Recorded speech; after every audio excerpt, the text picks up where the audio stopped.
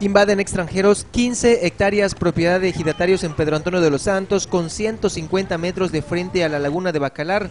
Esta nueva invasión se suma a la que ya se dio desde hace años y que se dirime actualmente en el Tribunal Unitario, pues en el primer asunto igualmente extranjeros invadieron hectárea y media de terrenos pegados a la laguna y aún se mantiene en litigio el problema.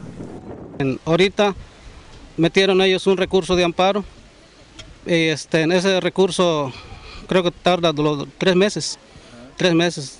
Después de esto, ellos van a, este, van a meter lo que es, ahora sí, el, recurso de amparo, que es esto, tarda entre ocho y un año, o sea, ocho meses y un año. Va para largo, pero bueno, de ahí no va a pasar, sabemos nosotros que las tierras son del ejido Pedro Antonio de los Santos. El Tribunal Unitario Agrario dio su fallo a favor del ejido porque estas personas pues realmente no cuentan con, ningún documento legal que los, que los ampare. El presidente del Consejo de Administración del Parque Ushbenka, Felipe Lara Baena, enclavado en esta zona, propiedad de los ejidatarios, indicó que ya no demandarán a este nuevo invasor, pero sí utilizarán el desalojo en caso que se niegue a retirar del sitio.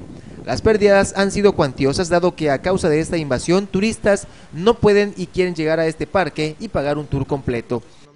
Nosotros dejamos de percibir este, algo económico en las entradas de lo que eran los, turistas de, cruceros, porque el tour que se les ofrecía incluía el área del museo, que es la parte que ellos tienen invadida.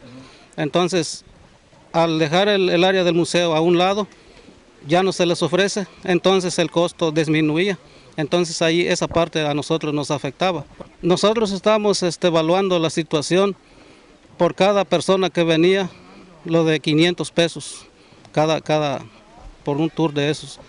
Entonces, este, pues nosotros metimos la demanda por daños y prejuicios. Mencionó que solicitarán el apoyo del gobierno municipal y estatal para mejorar este parque que recibe turistas nacionales y extranjeros.